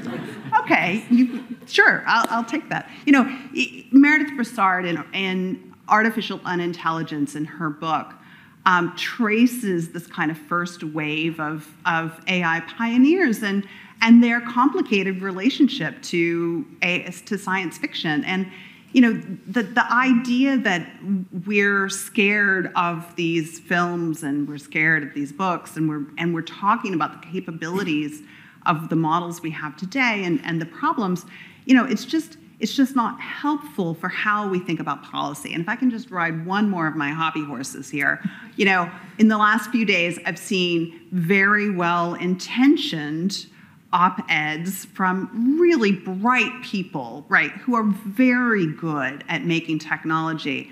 And they've been proposing what kinds of policies we need to have. And they've been saying, you know, it'd be great if we could just have an international atomic energy agency for AI. I'm like, dude, that's my lane.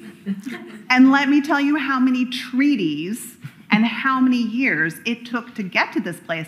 And I don't know if you've read any news about, you know, atomic capability in states and the fraught nature of those conversations, or that we actually have treaty obligations that, that countries have signed up to that that agency is the official assurance agency for. But I don't think you actually want to make that proposal right now. So I think we have to be really careful when we reach for these metaphors right? Without looking at the really hard work of the how. How are we going to implement these things? How are we going to make it happen? Who's going to make it happen? What frameworks are we going to use? Let's just start with what benchmarks do we have? What horizon scanning can we do? What kind of shared language do we have? If we get countries together on a little bit of agreement, or at least agree to talk about those things, then this summit will be a success.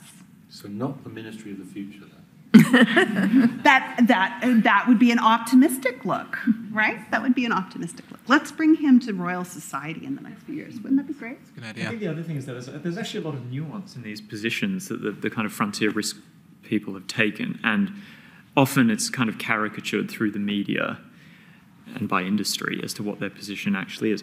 There, there is much more consensus on frontier risk, I think, than people suspect, right? I mean, the idea that if you have a system with very high consequence risks, risks that are potentially catastrophic to the entire community, and there are very few countervailing benefits to this system.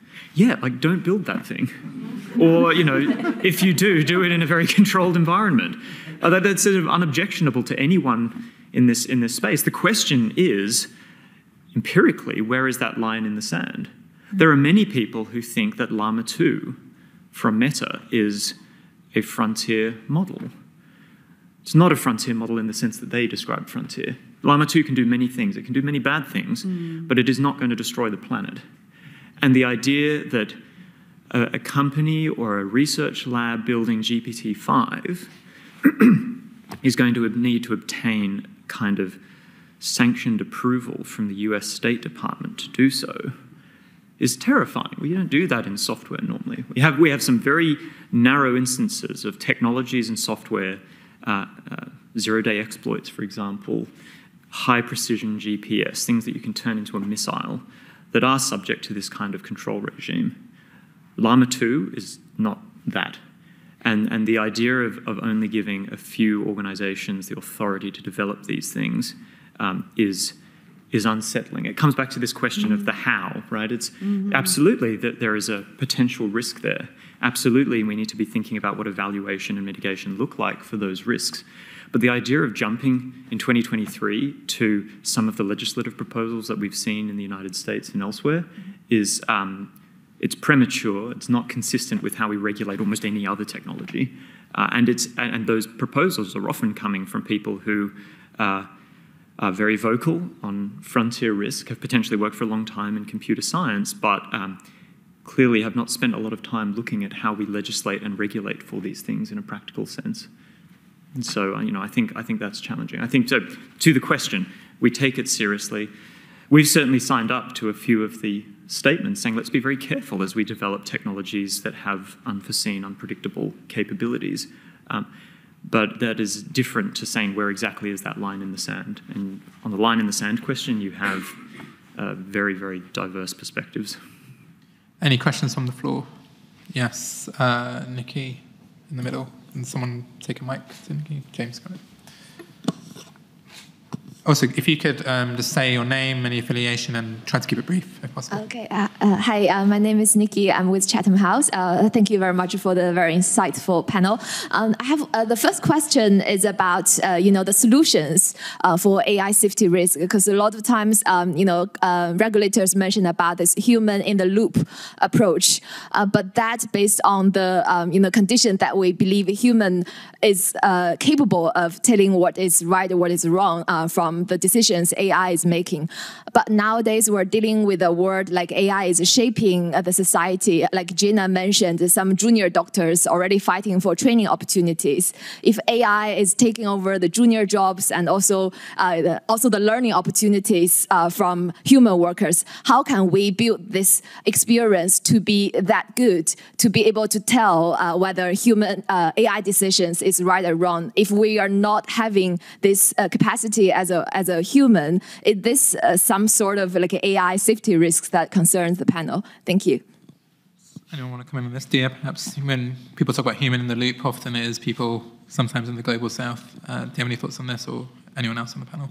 Yeah, I mean, I can uh, start. I mean, I think the first part of your question was about what kind of solutions could potentially exist. And I think um, it really goes down back to the basics because it goes back to the initial definitions of AI versus automated versus all that, right? So if you take the very basic of it, how do you really safeguard against those kinds of risks? So that's better data protection laws, better consumer protection laws, better IP protections, better labor, better labor protections, better environmental laws.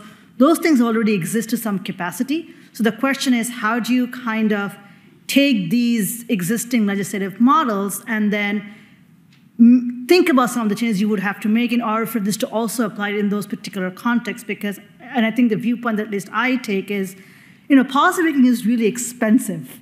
Uh, and, and especially if you are a resource strapped government or a resource strapped state you have a bunch of things you have to really worry about to like i think anna's point earlier.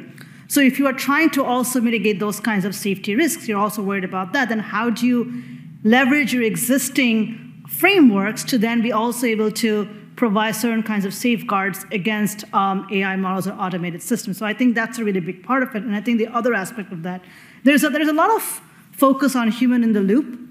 And I think it, for me, it kind of goes back to the old argument around if you had hired 100 million content moderators, all the child sexual pornography would have been gone. Like, it, it really doesn't work that way. So I think the question is, it is really important to have a human in the loop, but the broader question is sort of how do you think of it at the design level to ensure that you're building systems that are safe, or you're kind of drawing that line. And if it's if it's just bad, if it's, if it's a system that's about predicting social credit scores, just don't build it. Mm-hmm. That's pretty as as straightforward as that. Louise, do you have any thoughts? Yeah, I mean, I, am kind of reassured by what Ben's been saying about the whole framework of the safe debate, you know. But in terms of in, in terms of the systems, they're there. They're not going away. We have to we have to work with them and we have to embrace change and innovation. We have to ensure that people are trained correctly and we need to make sure that as we develop new new roles or, or new systems, we've got workers that are trained to go with it. But we're not you know, we're not, we can't stop it. Innovation is something we all embrace, and therefore, you know, this is going to move on, and we need to move on with it. But the, the frameworks and the regulations that will come during the debate will will will help us get there, right? But when when the, you take a human out of the loop, then that you have to find something else to guard it. And it, it, it, I think there always has to be a human intervention where you've got people, where you've got workers. But a lot of this won't need human intervention. It will need protections and guards and frameworks around it. So I think there's two different debates going on. One about how we grow the infrastructure and the machinery, and then how we guard against the worker. But where we, where we grow the machinery and the, we develop the AI, I think we are very supportive and, re- and, and really welcoming that. I think as, as, a, as a kind of citizen, we're scared. We don't know what it means. We listen to the media, we listen to the you know the debate, but we actually aren't getting those reassurances, the kind of conversation that Ben's having about how it's got to be safe, how it's got to be protected. That needs to be a debate with people so that we're not having a scientific discussion and a government discussion, but, but an understanding in society of what's coming at us. You know, we hear about, oh, it's going to be a bus with no person, it's going to be, well, yeah, okay. And as you said before, you know, do they really fly the planes? Have they been flying them for a long time, or you feel safe when you're in the plane anyway? So it's this kind of mixed message. You know, we embrace technology, we work with innovation. We just need to make sure that we understand it's transparent and explained properly so that people will embrace, not be frightened. And actually, just to, there was a point in there around um, that the people aspect of this is interesting because a safe outcome or a good outcome with AI means very different things in different contexts, right? So if you're saying, does the NHS AI chatbot tell you to drink bleach to fix your COVID infection, right? Like that's an, a kind of basic product safety problem in many ways, and regulators know how to deal with that, right? You look at the reliability of the system. How often does it give you a harmful response? How often does it give you a helpful response? But then you look at other issues like the the doctor's example you gave. Another example of this is kind of the SAG-AFTRA strike in the mm. in the United States, and um, and actors who are concerned about systems, AI or not, that um, are able to replicate their physical likeness, their performance, right? And, uh, and what does that do to background actors, extras? What does it do to pathways into the acting industry in Hollywood? The problem there is less a how do we evaluate the system problem, right? The problem there is a kind of bargaining imbalance problem between, in this case, actors and studios, and how is technology going to affect that bargaining imbalance? Um, and so, you know, in, in a funny way, and, and you know, certainly have to be sensitive about how we talk about this from the tech side of the ledger, but the WGA's approach, the writing, the writing guild's approach to dealing with this and the negotiations that they held with the, the producers and the studios was really interesting. It was a really interesting look at how, how are you going to address some of these problems in a non-scientific way and a non-regulatory environment you know, where, where does bargaining and, and, other systems kind of come into play there? Um, so it's something we're, we're, following with, with interest what that looks like. You know, we, we certainly, as, as a model developer, we want to build tools that help with tasks, right? You, push a button, get an image, push a button, get a poem is kind of a caricature for how these systems are going to be used. Like fundamentally, we're seeing Broadway designers use them to mock up new concepts for the stage. You know, we're seeing uh, people using them for analysis and classification tasks, medical research teams using stable diffusion to take MRI scans and see if they can visualize what the patient was seeing and what could that do to medical diagnostic uh, approaches for different neurological disorders, right? There, there are functional use cases for all of this that aren't um, a kind of wholesale replacement for a person or a job. And that's the kind of thing that we want to build. But we, we need to have this conversation with, uh, with users and with creators and with workers who may be affected directly or indirectly to make sure that we're kind of keeping to that mission. Um, I'm going, to move us on to another question because there's a lot of good ones. We're, running out of time. um, so on slide, we've got one from Ziski from Wikimedia uh, a question that I think will interest a lot of people in um, the political world. So, what guardrails or coordination is essential to put in place around the use of generative AI tools ahead of a year with over 40 countries holding elections. And Anna, I'd like to start with you. God. um, no, it's funny. I was at a um, roundtable with a bunch of tech companies a couple of weeks ago discussing exactly this, and I genuinely don't think that anyone has a, has a good answer for it. You know, I think like really it's a sort of wait and see in some ways. Um, yeah, I mean, I think there are, there are things you can do in terms of like guard, you know, sort of um, putting, you know, sort of uh, mitigating factors in place, whether that's um, all of the kind of technical aspects um, that Ben ran through. But then at, at, the end of the day, I think, you know, just sort of we're going to need more investment and more resources when it comes to content moderation, when it comes to, you know, enforcement of policies and so on. And that's something that kind of concerns me, particularly with regards to the discrepancies between one country and another, and where the resources are going sort of globally is not equally. I think, you know, one, I think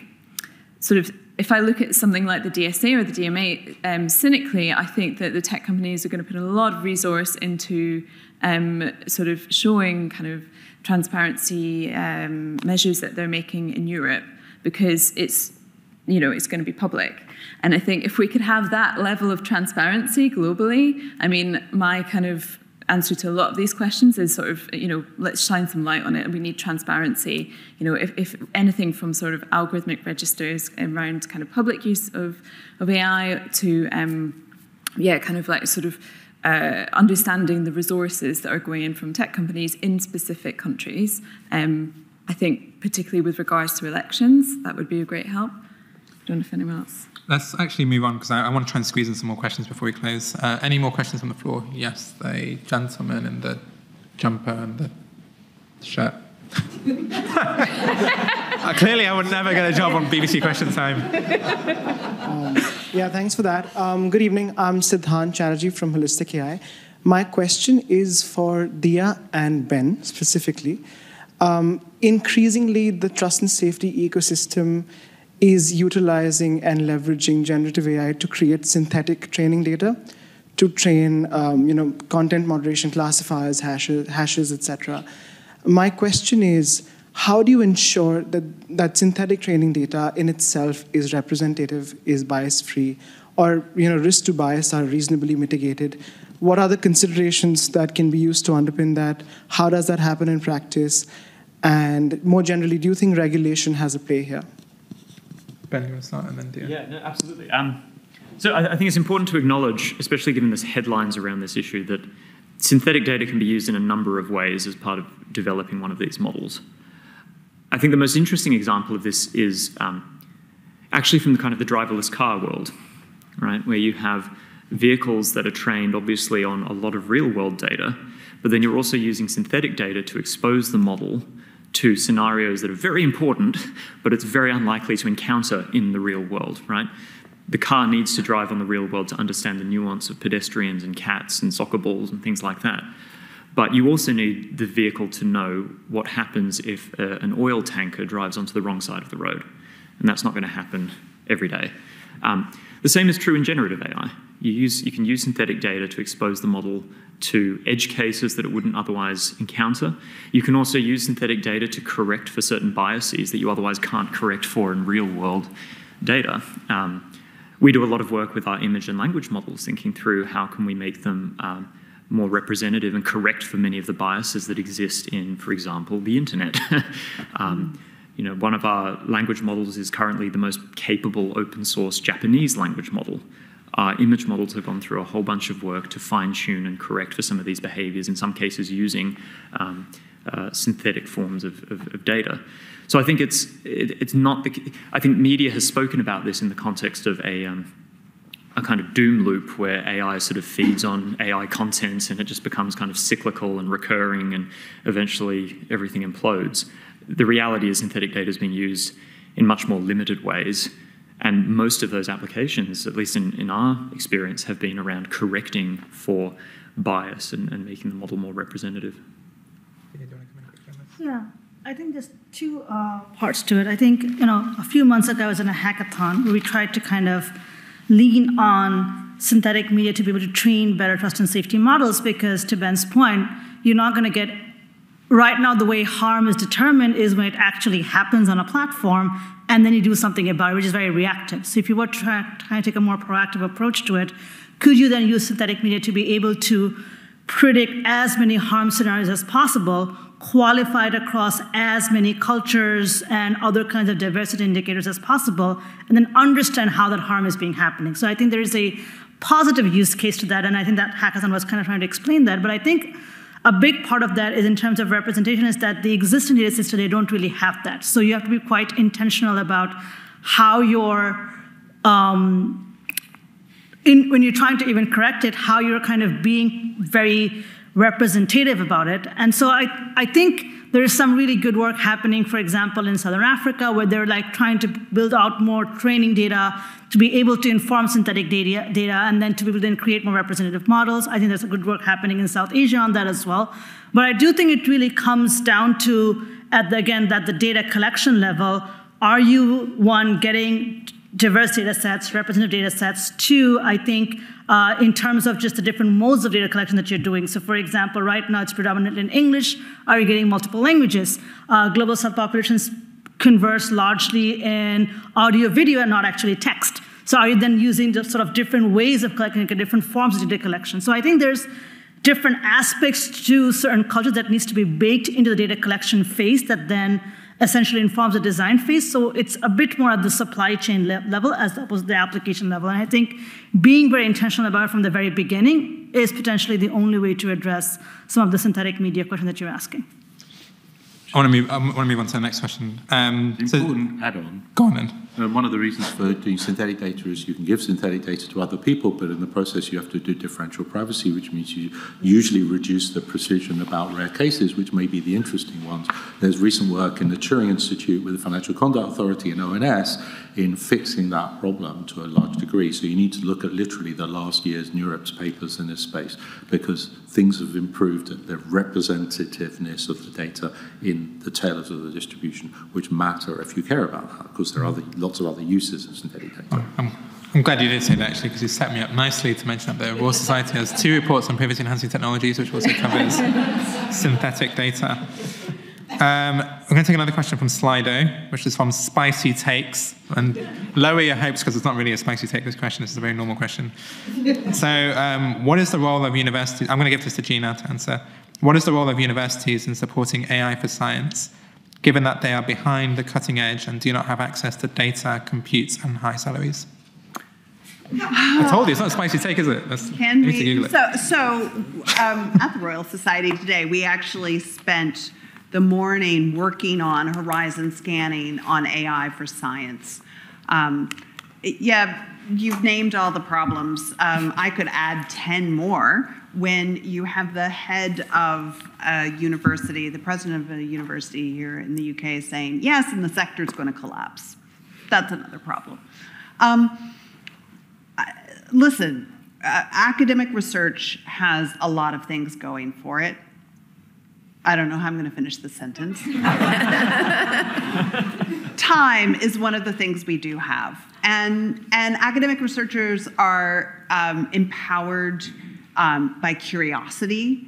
They're empowered to work on problems where they can have time to discover. Some of the research that I've done on how teams take on uh, AI and other technologies to, to do new kinds of collaboration show that sometimes just bringing advanced tools into the lab allow people to ask new kinds of questions. And not to say that doesn't happen in industry, but in industry, yes, there's more money and more compute and more power, perhaps, but time is not the resource they have. And they don't have the resource to be curiosity driven in most cases right? They, there's a product there's a bottom line there's a manager. And there's really smart people and interesting problems. And you know my colleagues in industry love their work so i don't want to belittle that. So so yes um, we need a lot to keep universities competitive and i'm going to make one more plug. We need a lot in this country to keep our universities competitive. Um, it's it's not simply about compute, it's not simply about the salaries, it truly is how are we investing in people and how are those people being empowered in universities to continue focusing on curiosity. We came up with the conclusion at the table that Areeq and I were at, the roundtable we were at today, really that, you know, people want in universities, scientists want to do good and they want to do good work. It's a huge motivation for those of us. So, can we please get what the basics we need to ensure that our science in this country does not collapse? Really could talk about this all night, but unfortunately it's 8.30 which means uh, that brings us to the close of our event. So thank you so much for joining us this evening. I hope you learned something new. And as you may have noticed, I mentioned many policy reports. You should read them. If you really want to understand these uh, topics well, you have to read. You can't just listen to a podcast. And you know, where better to read than a Royal Society publication. Finally, can we have a round of applause for Exxon panel and everyone who helped put together this event and the whole day today? Thank you.